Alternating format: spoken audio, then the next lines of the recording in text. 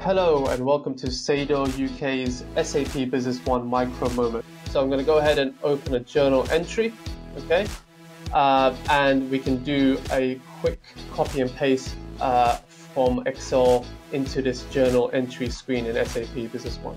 I have a sheet here that I prepared before with the GL account code, uh, the name of the account, and the debit and credit, okay?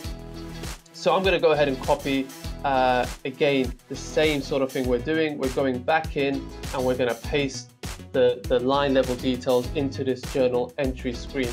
So I'm going to go ahead and click uh, right, right click into the cell and I'm going to paste. Okay. As you can see, it's uh, again within a matter of seconds. And this is particularly useful when you have long journals that you've prepared on Excel uh, and you don't want to key in anything manually and, and, and uh, spend so much time on it.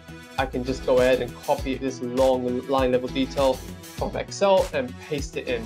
It's the same, uh, it's, it's the same thing. We just want to make sure that all of the data exists within this database so we don't error, get an error while it's pasting in. Okay. Thank you for watching this video. Uh, please do check out our website and our YouTube channel for more videos like this.